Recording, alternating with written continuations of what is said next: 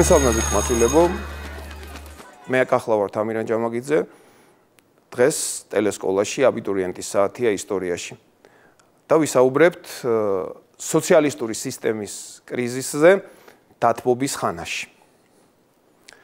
ჩვენ წინა შეხვედრაზე ვისაუბრეთ დათბობის ხანაზე, რომელიც დაკავშირებულია საბჭოთა კავშირში ნიკიტა სერგიზზე ხრუშოვის მართლობასთან, რომელმაც შეცვალა იოსებ ბესარიონის და სტალინი 1953 წელს.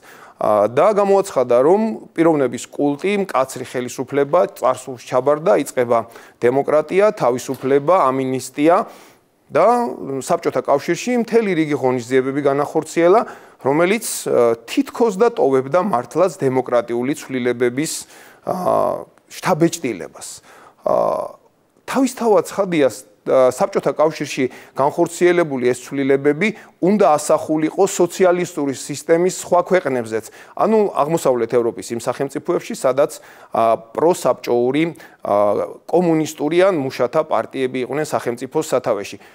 დემოკრატიზაციის პროცესი იმ ქვეყნებმა გაიგეს თავისებურად. რას ნიშნავდა? ანუ მეტი თავისუფლება, ნაკლები ცენზურა, არჩევანის ღიად დაფიქსირება და ასე შემდეგ.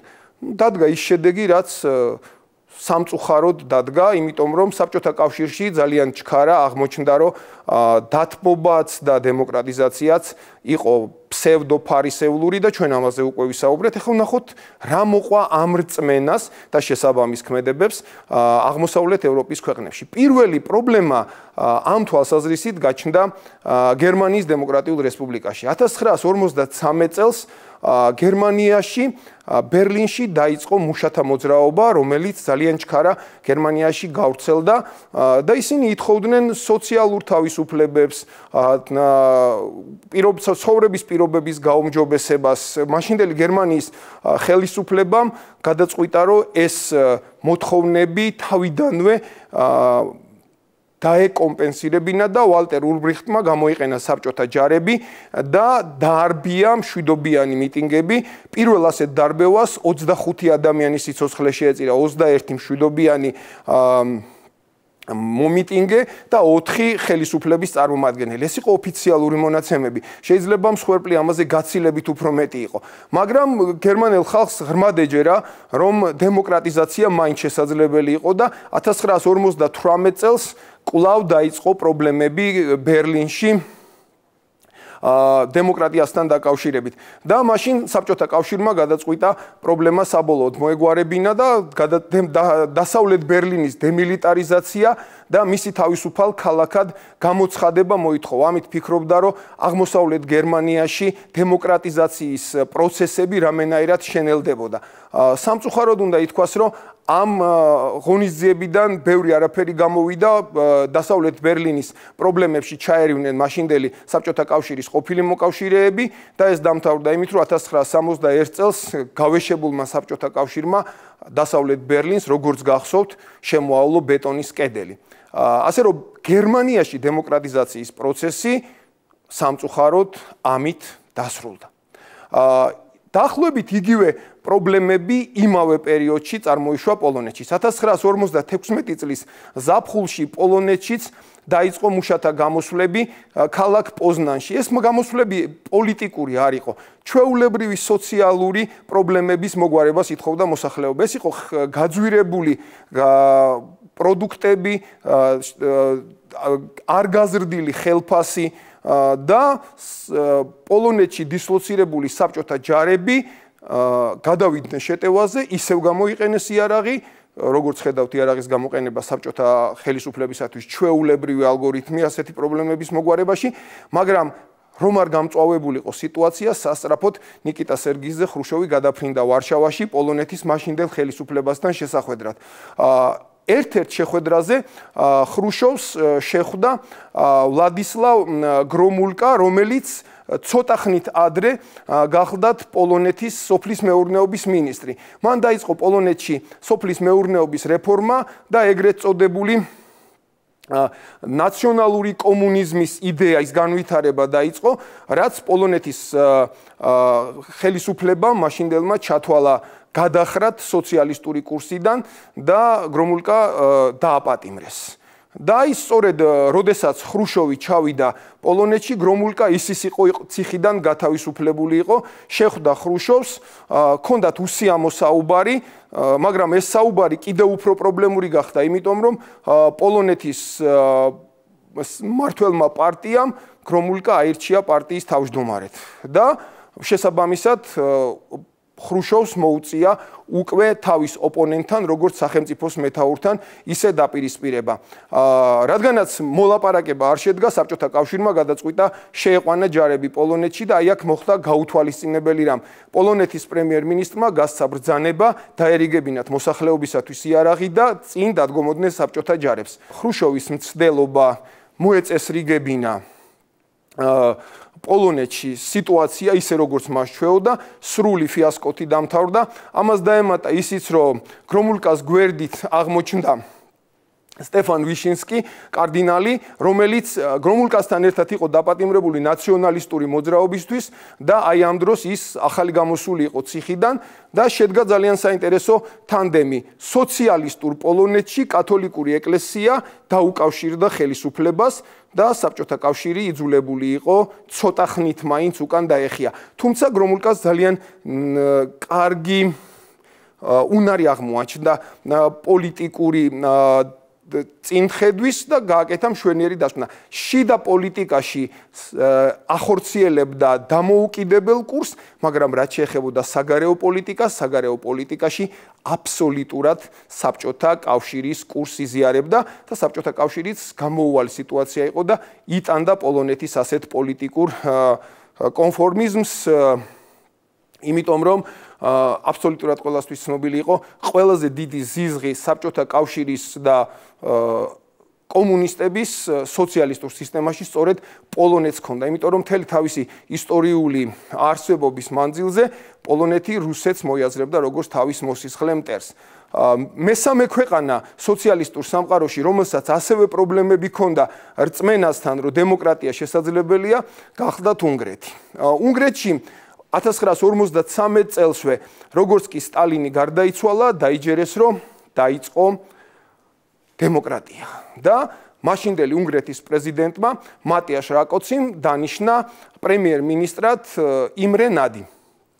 იმრე ნადი საბჭოთა კავშირისათვის სასურველი პოლიტიკოსი, იმიტომ რომ როდესაც მეორე მსოფლიო ომი დაიწყო 1940 წელს ნადი საბჭოთა კავშირში გადავიდა საცხოვრებლად. 1954 წლამდე ცხოვრობდა საბჭოთა კავშირში, მიიღო უმაღლესი განათლება, აგრონომი იყო და როდესაც დაბრუნდა უნგრეთში, აი 1953 წელს დანიშნეს პრემიერ-მინისტრად. დაიწყო რეფორმები თავისთავად დაჯერებული იმაში, რომ საშუალება ექნებოდა ქვეყანაში დემოკრატია განეხორციელებინა, მაგრამ მისი ზედმეტი დემოკრატიულობა 1955 წელს იმით დამთავრდა, რომ ნადი გადააყენეს თანამდებობიდან და ერნო გერე დანიშნეს პრემიერ-მინისტრად. ქვეყანაში დაწყებული დემოკრატიის მოთხოვნები და გერეს ხელისუფლება, რომელიც ჯერ ერთი ახალი მოსული იყო ხელისუფლების სათავეში და მეორე არ ქონდა არანაირი გამოცდილება ასეთი სიტუაციის მართვისა, კოლაფში აღმოჩნდა და უცებ 1956 წლის 22 ოქტომბერს ბუდაპეშტის ქუჩებში დაახლოებით 200.000 კაცი გამოვიდა. გამოვიდა რამოდენიმე მოთხოვნით: დემოკრატია, რეფორმები და სტალინის ძეგლი გაიტანეთ ქალაქის მთავარი პარკიდან. აა კერეს ხელისუფლება ვერაფერს ვერ აკეთებდა და კომუნისტურმა პარტიამ სასწრაფოდ დააბრუნა ხელისუფლების სათავეში იმრენად. იფიქრეს, რომ ნადის ავტორიტეტი და ის რომ ნადის ჰქონდა საბჭოთა კავშირთან ურთიერთობის საკმაოდ კარგი გამოცდილება, ამაზე იმუშავებდა. 23 ოქტომბერს ნადისთან დასალაპა, იმრე ნადისთან დასალაპარაკებლად ბუდაპეშტში ჩავიდა მაშინდელი ხელისუფლების წარმომადგენლებიდან მიხეილ სუსლოვი, რომელიც идеოლოგიური განყოფილების ლიდერი იყო და ანთანას მიქოიანი, რომელიც გავლენიანი და სტაჟიანი პოლიტიკოსი იყო, რომელიც ნადის კარგად იცნობდა. საუბარი საკმაოდ უსიამო იყო. საბჭოთა ლიდერები დაბრუნდნენ მოსკოვში და ამის პასუხად 24 ოქტომბერს ბუდაპეშტში შეიყვანეს ჯარები. ბუდაპეშტში ჯარების შეყვანა მოსახლეობამ კიდევ უფრო რთულად აღიქვა და ქალაქში უფრო მეტი ადამიანი გამოვიდა, შეიქმნა თავდაცვის რაზმები და აი ამ შეიარაღებული ოპოზიციის რაოდენობა 20000 გადააჭარბა. ხალხი არ ერიდებოდა ტანკებს და პირდაპირ რამოდენიმე ტანკი ააფეთქეს კიდეც ბუდაპეშტის ქუჩებში. ხელისუფლება მიხვდა, რომ ტანკების ეს რაოდენობა წესრიგის დასამყარებლად არ გამოდგებოდა. ამიტომ 27 ოქტომბერს ტანკები ქალაქიდან გაიყვანეს. აა ჩანდა თითქოს რომ ქვეყანაში ყველაფერი აა დამშვიდდა და ნადისაც პირველ ეტაპზე ეგონა რომ აა საბჭოთა კავშირმა უკან დაიხია აა და გადაწყვიტა 30 ოქტომბერს რომ ეროვნული დამოუკიდებლობის მხარდამჭერი საზოგადოება შეეკრიბა და დაეწყო ახალ რეფორმებზე ფიქრი. საბჭოთა კავშირმა ზუსტად იცოდა რაც მოყვებოდა ამ ყველაფერს, ამიტომ 1 ოქტომბერს უნგრეთში შეიყვანა ჯარები. ოღონდ გამოცდილება ქონდა იმის, რომ თავის თავზე არ აეღო პასუხისგებლობა. პოლონეთის და გერმანიის მწარე გამოცდილება მის იმიჯს სერიოზულად ლახავდა, ამიტომ იმისთვის რომ ჯარები შეეყვანა უნგრეთში, ოღონდ თავისი ჯარები უნდა შეეყვანა ამ შემთხვევაში სხვა ვარშავის სახელმწიფოების ვარშავის ხელშეკრულების სახელმწიფოების ჯარების გამოყენებას მოერიდა და ნებართვა იმისთვის აიღო ჩინეთისგან, რუმინეთისგან, იუგოსლავიისაგან და პოლონეთისგან. ვისგანაც ზუსტად იცოდა, რომ დასტურს მიიღებდა. ამ 4 სახელმწიფოსთან შეთანხმებით საბჭოთა კავშირმა თავად შეიყვანა ჯარები ბუდაპეშტში. ბუდაპეშტში ჯარები 250000 კაცი შეიყვანა უნგრეთში და დაახლოებით 5000 ტანკი. ფაქტიურად აა პირველ აა ნოემბერს აა ბუდაპეშტში კრიზისული მდგომარეობა აღმოჩნდა. ნადი მიხვდა, რომ უკან დახევა აღარ შეიძლება, სასწრაფოდ უნგრეთის რადიოთი მიმართა მოსახლეობას, გამოაცხადა, რომ გადის ვარშავის ხელშეკრულებიდან, უნგრეთი აცხადებს ნეიტრალიტეტს და სთხოვა გაერთიანებული ერების ორგანიზაციას ჩარეულიყო საქმეში. გაერთიანებული ერების ორგანიზაცია და ამერიკის შეერთებული შტატებს ძალიან მწარე გამოცდილება ჰქონდა სუეცის არხის კრიზისთან დაკავშირებით, როდესაც საბჭოთა კავშირმა ალექსი კოსიგინმა პირდაპირ უთხრა მაშინ ლინდონ ჯონსონს, რომ გინდათ ომი მიიღებთ ომს. და რადგანაც ეს გამოცდილება ამერიკას ჰქონდა, ამერიკამ ხოლმე დახშფოთებით შემოიფარგლა და უნგრეთის საქმეებში არ ჩაერია. 7 ნოემბერს საბჭოთა კავშირმა უნგრეთის რევოლუცია ჩაახშო. ამის შემდეგ პრობლემები უკვე ჩნდება ჩეხოსლოვაკიაში. ჩეხოსლოვაკიის პრობლემები 1968 წლის იანვარში დაიწყო, როდესაც ხელისუფლების სათავეში მოვიდა ალექსანდრ დუბჩეკი. დუბჩეკი რეფორმატორი იყო და სადა ქვეყანაში პოლიტიკური და ეკონომიური რეფორმების გატარება, რითიც ხელისუფლების უკმაყოფილება გამოიწვია და საბჭოთა კავშირს უკვე კარგად ჰქონდა გამოცდილი ეს ყველაფერი და როდესაც აპრილის თვეში უნგრეთსა ჩეხოსლოვაკიაში პოლიტიკური და ეკონომიური რეფორმების განხორციელება დაიწყო საბჭოთა კავშირმა აღარ დაახანა და 27 აგვისტოს განახორციელა ოპერაცია დუნაი, მოახდინა ჩეხოსლოვაკიის ოკუპაცია და პრაღის გაზაფხული, რომელიც დუბშეკმა დაიწყო 27 აგვისტოს ფაქტიურად საბჭოთა კავშირმა ერთიანად დაამთავრა. ჩვენ როდესაც პოლონეთზე ვსაუბრობდით, აღნიშნეთ, რომ პოზნანის პრობლემების შემდეგ ვლადისლავ გრომულკა გახდა პოლონეთის ხელისუფლების სათავეში, მაგრამ პოლონეთში ეკონომიკური მდგომარეობა არ გაუმჯობესებულა, შესაბამისად ამას სოციალური მდგომარეობის გაუარესებაც მოყვა და პოლონეთში 1970 წელს დაიწყო ახალი პოლიტიკური და ეკონომიური პრობლემები, ხელფასები შემცირდა, ფასები პროდუქტებზე გაიზარდა და მოსახლეობა გამოვიდა ქუჩაში. გრომულკა გადადგა და პოლონეთი პოლონეთის კომუნისტური პარტიის ხელმძღვანელი გახდა ედვარდ გერეკი. გერეკმა სცადა ძალის გამოყენება 1970 წელს ქუჩაში გამოსული მოსახლეობის წინააღმდეგ და საბჭოთა ჯარის საშუალებით დაშალა დემონსტრაციები, მაგრამ ამის შემდეგ იძულებული გახდა რომ უკან დაეხია, იმიტომ რომ 1976 წელს აა დაიწყო ახალი ტალღა არეულობებისა, რომელშიც უკვე პოლონეთის დიდი სამძრეწველო ქალაქების გდანსკისა და გდინიას მუშები გაერივნენ. ამას დაემატა ის, რომ 1978 წელს წარმოშობით პოლონელი გახდა რომის პაპი იოანე პავლე მეორე და პოლონელების მხარდაჭერას უკვე სხვა პოლიტიკური სიმძიმე დაემატა. საბჭოთა ხელისუფლებამ 1976 წელს დაწყებული პრობლემები ვერ მოაგვარა.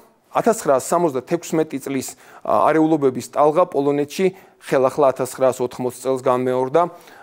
საბჭოთა ხელისუფლებას ჯარის გამოყენების საშუალება უკვე აღარ ქონდა, ამიტომ მეორე გამოსავალს მიაგნო პოლონეთის კომპარტიის ლიდერად დანიშნა გენერალი ვოიცეხ ერუზელსკი.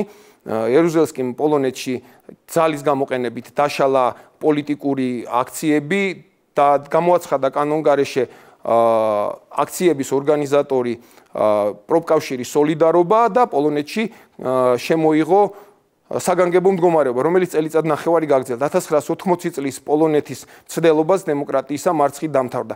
ასე რომ როგორც ხედავთ, ყველა მცდელობა სოციალისტურ სამყაროში დათბობის პერიოდის დემოკრატიზაციისა მარცხი დამთავრდა და საბჭოთა კავშირმა შეინარჩუნა ლიდერის პოზიციები თითქმის 1990 წლამდე. დღეს ამით დავამთავროთ და დავალებათ მოგცემდით ასეთ სამუშაოს გაანალიზეთ სოციალისტურ ქვეყნებში მიმდინარე ანტისაბჭოთა გამოსვლები და მათი შედარებითი ანალიზით დაადგინეთ რა იყო კონკრეტულ ქვეყანაში ამ გამოსვლების კონკრეტული მიზეზი და რა ალგორითმები არსებობდა მისი მოგვარების როგორც ქვეყნის შიგნით, ისე ვარშავის ხელშეკრულების ფორმატში.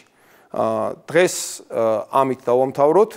მადლობთ, რომ იყავით ჩვენთან. გელოდებით შემდეგ შეხვედრაზე ჩვენს ტელესკოლაში. კარგად ზანდებოდეთ.